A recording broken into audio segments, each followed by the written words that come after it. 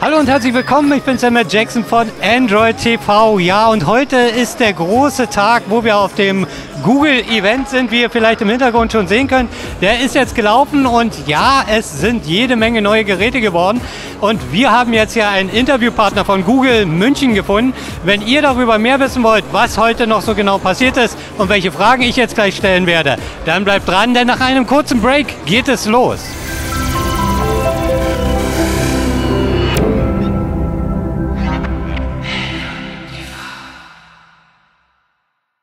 So, und da bin ich auch schon. Eingeladen von Google, das habe ich ja schon erwähnt. Und äh, im Gespräch Herr Dr. Wieland Hohlfelder, Engineering Director and Site Lead Google Germany. Erstmal Hallo und was verbirgt sich denn hinter dem tollen Titel?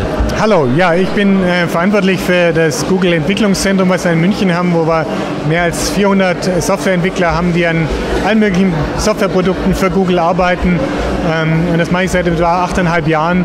Ähm, ich habe hier das Entwicklungszentrum aufgebaut und ähm, wir wachsen stetig weiter und haben ganz viele spannende Themen von Chrome, wo wir die V8 JavaScript Engine für Chrome entwickeln, über Datenschutz, wo wir sowohl für Chrome als auch für die Google-Produkte ähm, die Datenschutzunterstützung machen, ähm, bis hin zu sogenannten Corporate Engineering-Themen, wo wir interne Unternehmenstools entwickeln oder auch Entwicklungstools für Google-Entwickler, mit denen Google-Entwickler unsere Software entwickeln.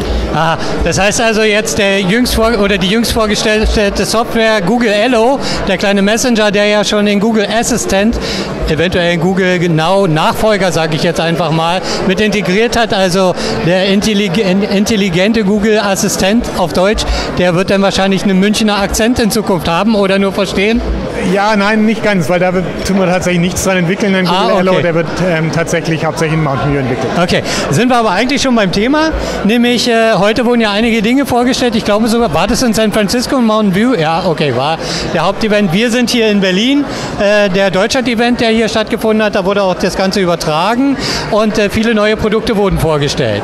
Äh, möchten Sie vielleicht einfach mal beginnen? Äh, äh, wir waren ja schon beim Du, Entschuldigung. Genau. Möchtest du vielleicht einfach mal beginnen, was, was denn alles so Schönes bei, in Mountain View vorgestellt wurde und was wir davon hier in Deutschland zu erwarten haben. Genau, also heute ist ein ganz besonderer Tag für ähm, Google. Der Event heißt Made by Google. Mhm. Und was wir heute angekündigt haben, ist, dass wir wirklich uns intensiv um Hardwareprodukte kümmern für unsere Nutzer. Ähm, und im Rahmen dessen ähm, haben wir eine eigene Hardwareorganisation innerhalb von Google gegründet, die diese gesamten Produkte, die wir heute vorgestellt haben, ähm, auch entwickelt und dafür verantwortlich ist. Und die Produkte, die wir vorgestellt haben, ist zum einen das Pixel Phone. Ähm, Pixel Phone made by Google. Hier haben wir es. Ähm, und das ist ein ganz, ganz fantastisches Gerät, ähm, das ähm, hochqualitativ ist. Und Darf Sie mal in die, die, Kamera halten? Genau. Und die Produktexperience ähm, optimiert. Ähm, ich kann es auch mal schnell noch anmachen.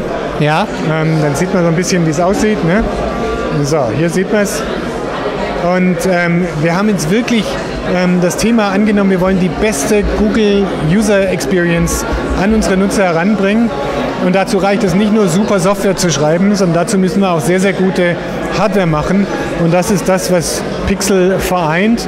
Unsere Kernexpertise im Bereich Machine Learning, Machine Intelligence plus eine extrem gute Hardware. Ähm, damit können wir den Google Assistant auch eben ähm, auf dieses Telefon bringen. Ähm, das ist eine der vielen, vielen Merkmale, die in dem Telefon sind. Daneben haben wir noch eine ganze Reihe anderer Produkte angekündigt. Ähm, für den deutschen Markt ähm, wichtig ist der sogenannte Daydream View. Ähm, der ist eine Virtual Reality Brille, die mit diesem Pixel-Telefon arbeitet, mit allen Daydream Ready Phones, wie wir sie nennen, arbeitet. Pixel ist das erste Daydream Ready Phone ähm, und ähm, dieser Viewer wird auch in Deutschland verfügbar sein. Und das dritte Gerät, was wir in Deutschland bekommen werden, ist der Chromecast Ultra, die nächste Generation für Chromecast, ähm, mit dem Sie alle Ihre Inhalte vom mobilen Gerät auf den großen Bildschirm ähm, streamen können. Und das Neue am Chromecast Ultra ist, dass das Ganze in ähm, 4K-Auflösung passiert, HD, ähm, mit einem noch deutlich besseren Startup. Ähm, von 1,8 mal schneller, dass die Videos tatsächlich anfangen zu streamen, bis hin dazu, dass wir auch jetzt eine Ethernet-Buchse mit anbieten, damit Sie also auch, wenn die WLAN-Verbindungen nicht ganz so gut sind, die optimale Performance bekommen. Okay, jetzt muss ich doch noch mal ein bisschen äh, wieder ausholen und ein bisschen wieder zurückgehen. Wir haben angefangen mit den beiden Google äh, Pixel Smartphones, also einmal Google Pixel und Google Pixel XL. Ähm, die werden also beide äh, in Deutschland gelauncht ab die werden ab heute, kann man die bestellen. Ja. Ähm, und zwar über zwei Kanäle. Das eine ist der Google Store. Ja. Und das andere ist die Deutsche Telekom, die wir als exklusiven Vertriebspartner ähm, gewinnen konnten. Ähm, und ab heute können wir sowohl bei der Deutschen Telekom als auch beim Google Store diese Telefone bestellen. Ausgeliefert werden sie ab dem 20. Oktober. 20. Oktober. Okay, äh, ich habe mir hier auch gerade mal noch die Preise aufgeschrieben, die sind vielleicht auch nicht ganz uninteressant. Wir haben also einmal beim Pixel gibt es äh, mit 32 GB und mit 128 GB. Genau. Äh, kostet 759 und 869 Euro. Und das Pixel XL, also mit dem 5,5 Zoll, ich glaube sogar ein Quad HD äh, äh, Display hat es sogar. Ja. Ähm, 899 Euro für die 32 GB und 1009 Euro für die 128 GB. So ist es. Jetzt genau. äh, haben wir ja gerade schon äh, erwähnt, Made by Google ist das große Ding. Ähm, das ist aber nicht bei Google äh, selbst hergestellt, oder doch? Wir haben gesamten Prozess Design Engineering in-house gemacht. Ähm, das heißt auch das Industrial Sein des Telefons. Man sieht hier hinten ähm, wunderschön dieses Glas, das ist auch Gorilla-Glas ähm, auf der Rückseite des Telefons oben, was dem Telefon eine ähm, deutlich bessere ähm, Performance gibt, wenn es um den Empfang geht, auch um NFC-Performance geht. Ähm, bis über den ähm, gebrushed Aluminium, über das brushed Aluminium Gehäuse. Das Metallgehäuse, die, ja. Metallgehäuse, mhm. die runden Kanten. Es ist alles komplett bei uns von unserem Hardware-Team designt. Und dann haben wir einen Contract Manufacturer, der das Ganze nachher am Ende gebaut hat. Aber ähm, ich glaube, es könnte HTC sein. Ne? Es könnte durchaus HTC richtig? gewesen sein und es ist es tatsächlich auch. Okay. Genau. Aber ähm, der Unterschied zu früheren Projekten, zum Beispiel Nexus, ähm, wo die ähm, Hersteller die Führung, was Design und Manufacturing und Engineering anbelangt hat, ist wirklich dieses Telefon von unserem Hardware-Team komplett mit allen Sensoren, mit allen ähm, Komponenten durchdesignt. Ein ganz, ganz wichtiges Feature ist die Kamera, die beste derzeit auf dem Markt erhältliche Smartphone-Kamera. Ähm, und einer der Gründe, warum es wichtig ist, dass wir wirklich sowohl die Software als auch die Hardware an der Stelle machen, ist genau Dinge wie zum Beispiel ähm, Image Quality, also Bildqualität. Ähm, wenn wir die Kamera mit intelligenter Google-Software verbinden, ähm, kriegen Sie noch bessere ähm, Imagequalität, die Sie sonst nur anhand der Hardware-Kamera gar nicht bekommen können. Ähm, damit ist jetzt letztendlich vielleicht auch schon die Frage äh, beantwortet, die ich jetzt gleich an Niki gehabt hätte. Äh, warum nicht mehr Nexus, sondern Pixel? Das heißt, das war jetzt eigentlich letztendlich schon die Antwort darauf, dass bei Nexus halt doch schon tatsächlich die OEM-Partner mehr oder weniger das Design und so weiter erstellt haben. Und das passiert jetzt also bei Pixel-Modellen in Zukunft nicht mehr, sondern Ganz genau, ja. hat Google letztendlich die genau. Hand drauf. Und, und der Unterschied ist so ein bisschen der, dass wir bei Nexus ähm, versucht haben, die Fähigkeiten von Android darzustellen, umzusetzen ähm, und den Markt so ein bisschen an der Stelle Anreize zu verschaffen, was mit Android alles möglich ist. Mhm. Ähm, und dazu war der Ansatz mit unseren Partnern ähm, genau der richtige. Hier ist jetzt nicht mehr nur Android im Vordergrund, sondern tatsächlich Google. Und okay. dazu müssen wir noch eine Ebene tiefer gehen. Ähm, und deswegen haben wir uns entschieden, selber jetzt auch als Hardware Hersteller in den Markt Ich muss noch mal ganz kurz ansprechen, weil wir haben schon darüber gesprochen, Preise. Ich, ja. ich, weiß schon, im Vorfeld wurde ja schon so ein bisschen diskutiert und gemutmaßt und das kommt auch ungefähr mit den Preisen so hin. Ähm, woran liegt denn das, dass A, die deutschen Preise einfach mal äh, knapp 100 Euro drüber liegen oder 100 US-Dollar, wie man mag und zum anderen äh, war ja ein Nexus-Smartphone mal bekannt dafür, dass es ein bisschen preiswerter ist. Das ist ja jetzt hier einfach nicht mehr der Fall. Ja. Also bei 1009 Euro Maximum ähm, haben wir ja schon äh, einen Bereich erreicht, der sonst nur in Cupertino gerne publiziert wird. Woran liegt denn das? Nein, das liegt erstmal daran, dass extrem hochwertige Komponenten verbaut sind ähm, und, und, deswegen natürlich das Gerät auch ähm, entsprechend teurer werden muss. Hm. Ähm, der Unterschied zwischen dem US-Preis und den ja. deutschen Preisen liegt einfach an Importzöllen, Ähm, hier haben wir die Mehrwertsteuer bereits im Preis Okay. eingerechnet. In den USA kommt die Mehrwertsteuer immer erst hinten drauf, je nachdem in welchem Staat Okay. ähm, die Telefone verkauft werden. Ähm, das sind die Hauptunterschiede, ähm, warum die Telefone Okay. hier einen kleinen... Dann haben wir schon gesagt, also außer dass es also auch den Google Assistant äh, drauf hat, ist es auch Daydream Ready, das erste Daydream Ready, weil es gab mal einen Hersteller aus China, ZTE, der hat auch sein Smartphone als Daydream Ready tituliert. Gelogen? Es Übertrieben? Es, es gab ja noch keinen Daydream View. Ja. Ähm, und ähm, das Zertifizierungsprogramm wird von uns natürlich kontrolliert. Das ist das erste Daydream Ready Phone. Okay, Ähm, hat er und- gehört, ja. Genau. Amtlich. Und die, was, und die, was macht es aus, das Daydream Ready? Entschuldigung. Ja, da- ich meine, da gibt es zum Beispiel eine ganze Reihe von Sensorik, die im Telefon verbaut ist. Ähm, die Latency, was die Bildwiedergabe anbelangt, muss entsprechend niedrig sein, damit Dinge wie zum Beispiel die Kopfbewegung ähm, schnell genug abgebildet werden kann, ähm, damit die Erfahrung, die User-Erfahrung wirklich top ist.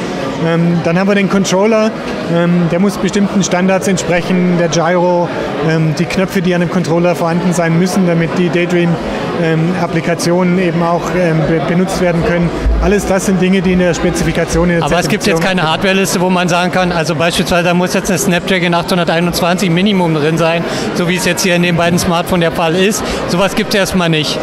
Es gibt eine Liste von Spezifikationskriterien, Okay. an die sich die Hersteller ähm, halten müssen und die können wir gerne entsprechend weiterleiten. Das wäre nett.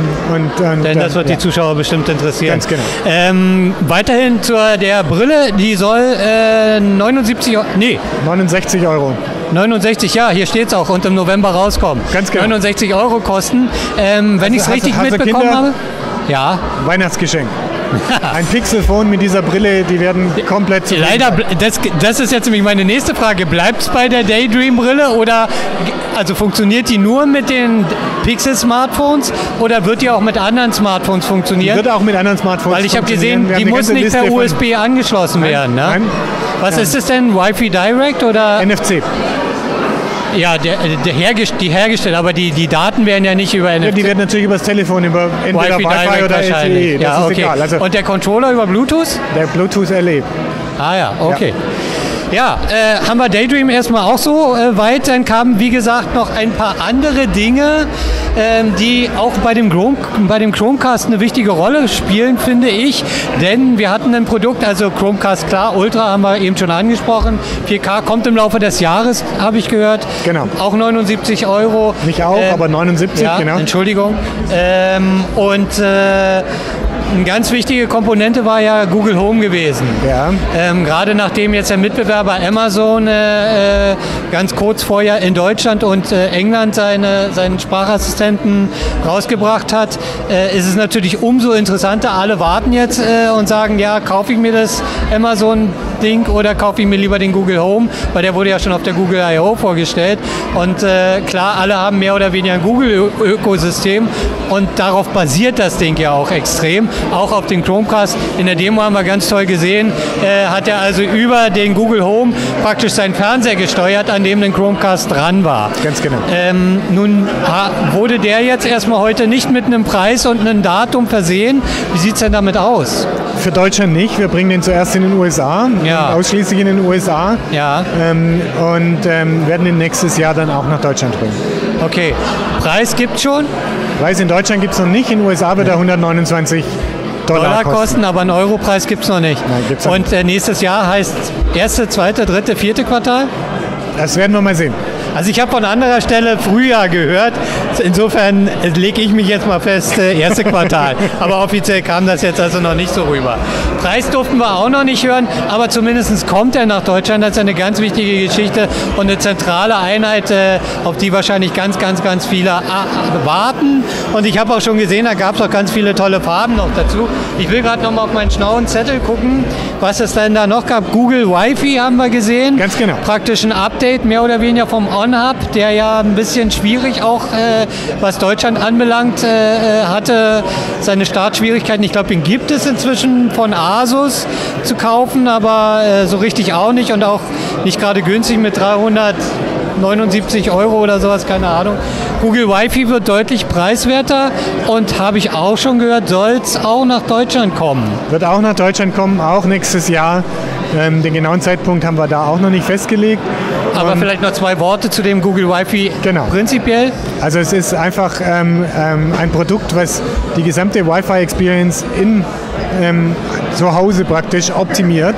Ähm, die ganzen schwierigen Dinge, ich habe bei mir zu Hause sechs Wi-Fi-Router stehen, die aufeinander abzustimmen, welcher auf welchem Kanal funkt, über welche SSID, ähm, ich sag mal, ist für den normalsterblichen Nutzer ähm, einfach nicht mehr leistbar. Inzwischen ist es aber so, dass wenn man zwei Kinder hat, die alle YouTube und Netflix in HD gucken, ähm, dann reicht eben ein Wi-Fi-Router im Haus nicht mehr.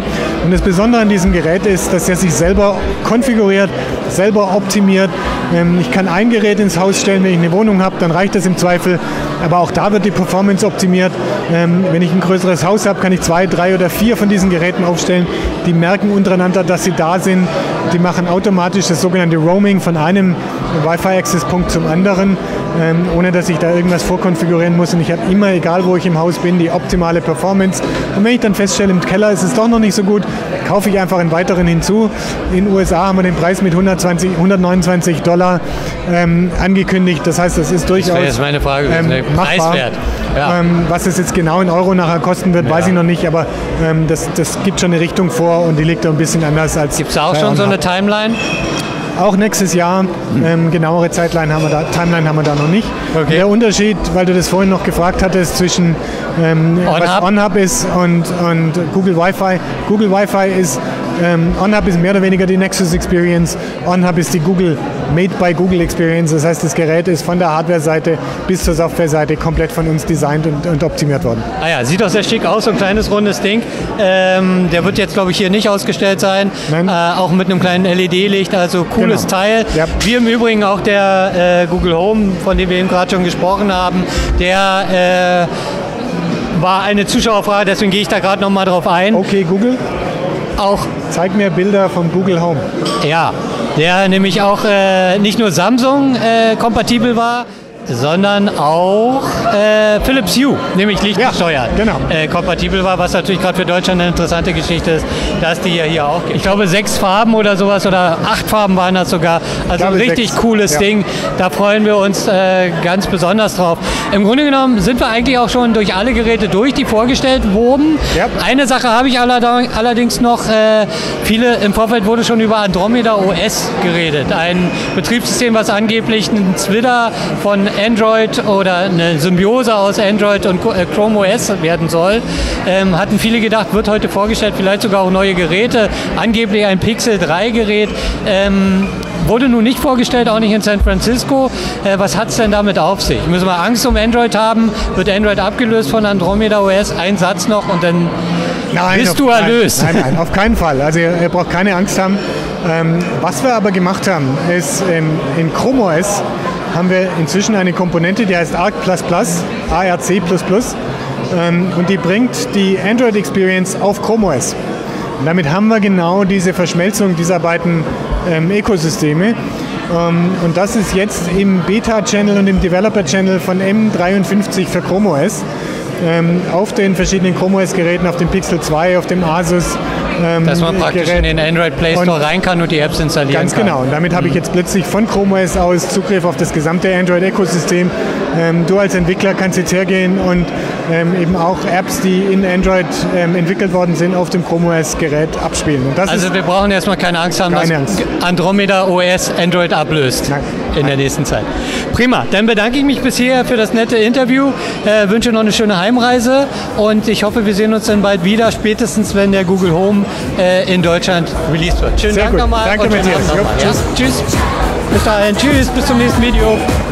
Wenn euch das Video gefallen hat, vergesst nicht uns zu abonnieren und es vielleicht auch über Twitter, Google Plus oder Facebook zu teilen, damit andere auch etwas davon haben.